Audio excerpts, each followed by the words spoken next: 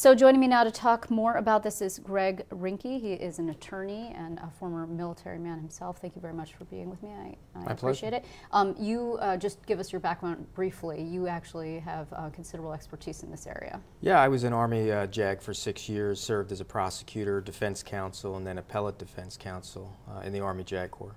So have you ever seen a situation like this, though? Have Has the country been faced with a situation like this before? Well, we've never been faced with a situation exactly like this. I mean, we've handled AWOL soldiers and deserters numerous times before, but what makes this interesting is when we take into account the possibility of you know, POW and potentially of being a deserter. Uh, so it's, it's kind of a unique set, set of facts. Now, right, tell us, if you will, what the difference is mm-hmm. between mm -hmm. AWOL and desertion. AWOL is, is basically absent without leave. Desertion is when you leave your unit with the intent to permanently remain away. So in order to be considered a deserter, you need to have formulated the intent to never return to your unit, to permanently desert. And is that difficult to prove?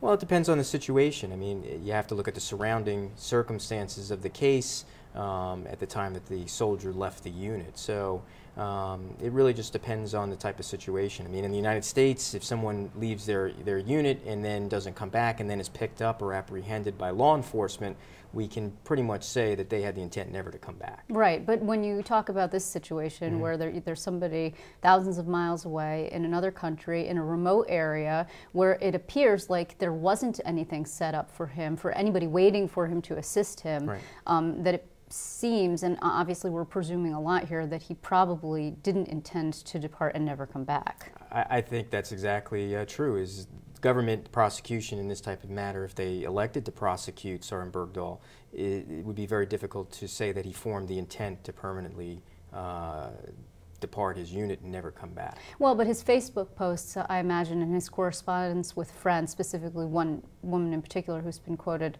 would probably be the best evidence that they had. And also hmm. some mm. his discussions with his um, colleagues, obviously, his uh, the former the other members of the platoon, but also the idea that he walked away before. How significant would that be? I think it's significant to show that if he had left the unit before and then come back, well, I mean, he's going to argue and say that, well, I had left before and come back. So it might not have been the intent to permanently depart the unit and not come back or to desert the unit. What's the difference in terms of prosecution? I mean, um, absent without leave, obviously you're penalized for mm -hmm. that, you're reprimanded, but um, it's a whole different story when you talk about desertion. Right. Absent without leave is a relatively minor military offense, uh, punishable by, I mean, it's still court-martialable offense, but desertion, especially desertion in time of war, uh, is punishable by the military by ultimately the death penalty. Um, do I think that's going to happen in this case? Absolutely not. But it is a very significant, uh, serious uh, crime, desertion. You mentioned the investigation. I mean, we're talking about something that is just getting underway. Mm -hmm. A person who's just been returned, mm-hmm. actually, mm -hmm. and, and had not yet been even reunited with his family, and we don't know the extent to which he has been questioned, although it seems like he has, at least to some degree, been questioned about the details. Um, but his mental state is in question. How long of an investigation would this be? Well, I think some of it has already been investigated. It's my understanding that there was a 15-6 military investigation that was done when he left. So some of that investigation has already been done. Uh, in order for them to start questioning him now, if he's suspected of a crime, which potentially he really is, he has to be read his Article 31 rights, which are similar to Miranda rights in the civilian world, where he has the right to invoke, not to make a statement, has a right to an attorney. So I'm not sure if he has actually been questioned yet.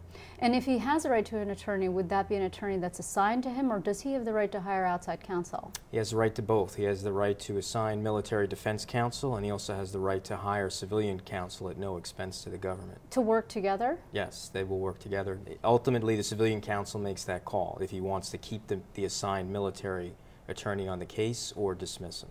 So you have some ideas about this already. I mean, obviously, you you know pretty much as much as we do. Mm -hmm. I, I, would assume. Um, so we should just put this out there: no inside knowledge right. before we start opining.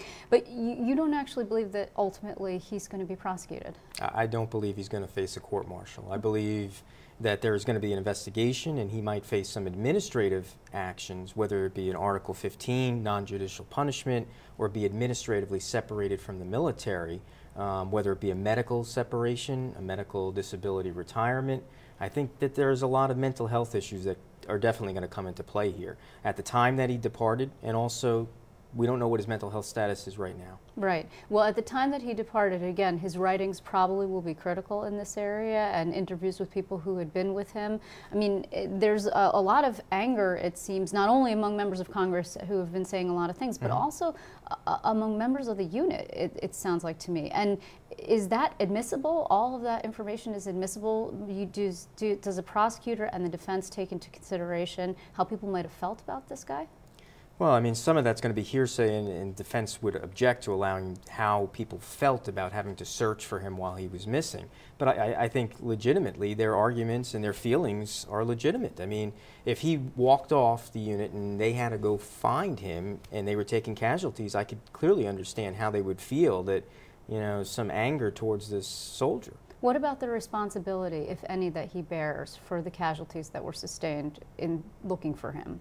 I don't think the government's going to charge him with that. Uh, I mean, it's always a possibility, but I think it would be a stretch for the government to charge him with those casualties. Why?